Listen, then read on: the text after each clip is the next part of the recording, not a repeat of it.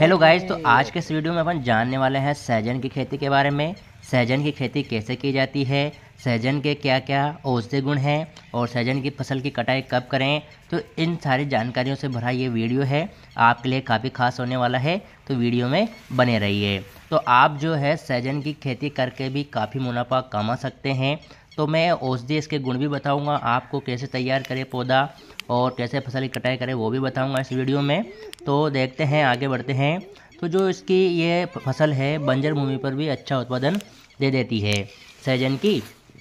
तो इसकी जो फूल, फलियाँ, बीज, छाल, जड़ें व पत्तियाँ सब उपयोगी है। जो सहजन की है, जो फूल, फलियाँ, बीज, छाल, जड़ें व पत्तियाँ सभी उपयोगी है।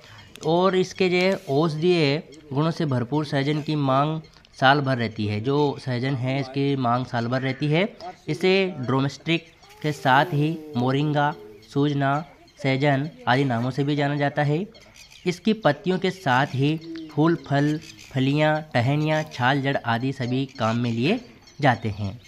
इसमें छः महीने में फलियाँ लगनी शुरू हो जाती है। जो सहजन का पेड़ है, इसमें छः महीने में फलियाँ लगना शुरू हो जाती है। इसे वर्ष भर में प्रति हेक्टेयर में तीन से पाँच लाख रुपए का मुनाफा होता है। मतलब जो प्रति हेक्टेयर में तीन से पाँच लाख रुपए का मुनाफा होता है, किसी अन्य फ़सल के साथ भी इसकी खेती की जा सकती है। जो सहजन की खेती है, किसी अन्य फ़सल के साथ भी इसको कर सकते हैं। बूंद बूंद सिंचाई पद्धति का उपयोग कर, किया जा सकता है। इसके लिए बालुई, दोमट मिट्टी उपयुक्त है। मतलब जो सहजन की खेती है, इसके लिए बालुई, दोमट दोमट मिट्टी उपयुक्त है। बूंद बूंद सिंचाई पद्धति अपना सकते हैं। वैसे पानी की अधिक ज़रूरत नहीं रहती है। इसकी खेती बंजर ज़मीन पर भी की जाती है। जो बंजर ज़मीन है, उस पर भी सहजन की खेती की जा सकती है।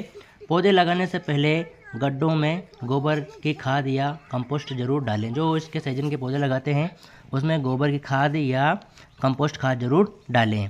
फ़सल को कीटों, रोगों से बचाने के लिए डाइक्लोरोवास 0.5 मिली लीटर पानी में घोलकर छिड़काव करना चाहिए। और ऐसे तैयारी करें पौधों की।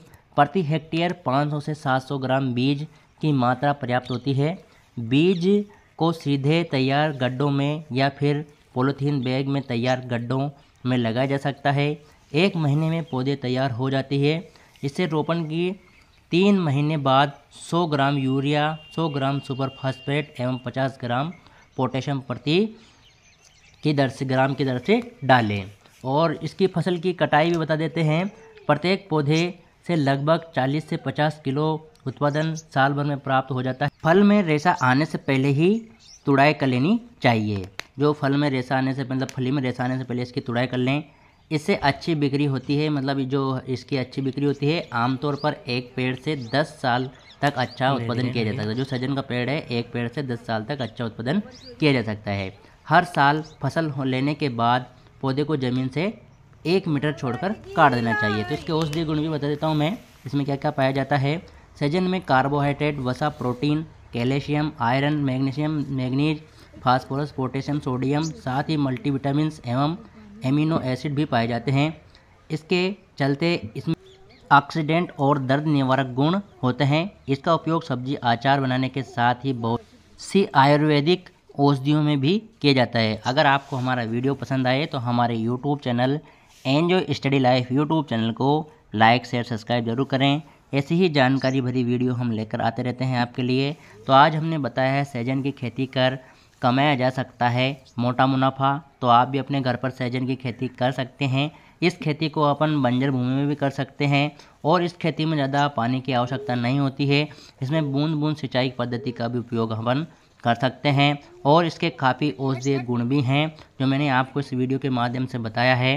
तो आप अपने घर पर भी सहजन की खेती कर सकते हैं और काफ़ी मोटा मुनाफा पा सकते हैं। फ़सल की कटाई की भी मैंने आपको विधि बताई है, कैसे फ़सल की कटाई करें। तो मैंने आपको जो सहजन की खेती के बारे में आज बताया है, आपके लिए काफ़ी ख़ास है और अपन जो सहजन की खेती करते हैं, इससे काफ़ी मोटा मुनाफा प्राप्त कर सकते हैं, अपने घर पर लगाएँ। और जो सहजन की है, फल, फलियाँ, बीज, छाल, जड़ें व पत्तियों का उपयोग भी इसका बहुत है। हमारे स्वास्थ्य के लिए बहुत ही लाभकारी है और इसे अपन घर पर भी उसा उगा सकते हैं। और इसमें छः महीने के अंदर फल, फूल, फलियाँ आना प्रारंभ हो जाती है। तो इसकी सब्ज़ी भी बहुत टेस्टफुल होती है। इसका अचार भी बनता है। अचार भी बना सकते हैं और इसमें कई तरह के विटामिन पाए जाते हैं। जैसे कि मैंने आपको बताया है सैजन में कार्बोहाइड्रेट वसा protein calcium iron magnesium manganese phosphate potassium sodium ये कई प्रकार के इसमें विटामिन पाए जाते हैं, जो हमारे शरीर के लिए बहुत ही लाभदायक है और इसकी सब्ज़ी भी बहुत ही लाभदायक है अपने शरीर के लिए। तो इस सब्ज़ी का ज़रूर सेवन करें आप। तो गाइज़ आज का वीडियो कैसा लगा? हमारे कमेंट्स बॉक्स में ज़रूर बताएँ हमें। और ऐसी ही हम नई नई जानकारियाँ आपके लिए लेकर आते रहते हैं हमारे यूट्यूब चैनल के माध्यम से। तो गाइज़ बताइएगा, कैसा वीडियो लगा? मैंने आपको सहजन की खेती के बारे में सब कुछ बता दिया है वीडियो के माध्यम से। सहजन की फली कितनी इम्पोर्टेंट है हमारी लाइफ के लिए, बहुत इम्पोर्टेंट है, ये भी बताया है मैंने औषधीय गुण भी बहुत सारे हैं इसके। और इसकी फ़सल कम पानी से वाली फ़सल है, इसमें ज़्यादा पानी की आवश्यकता नहीं होती है। तो मैं एक बार और आपको लिए रिवाइज कर देता हूँ, आपको अच्छे से समझ में आ जाएगा। अपन हैं जो सजन की खेती से काफ़ी मोटा मुनाफा पा सकते हैं और इसकी फूल, फल, बीज, छाल, जड़ें व पत्तियों का भी बहुत उपयोग है। सभी उपयोगी मतलब पूरा वृक्ष है इसका, जो बहुत ही उपयोगी होता है। इसकी फूलों की सब्ज़ी बनती है। तो मैंने आपको सहजन के औषधि गुण भी बताए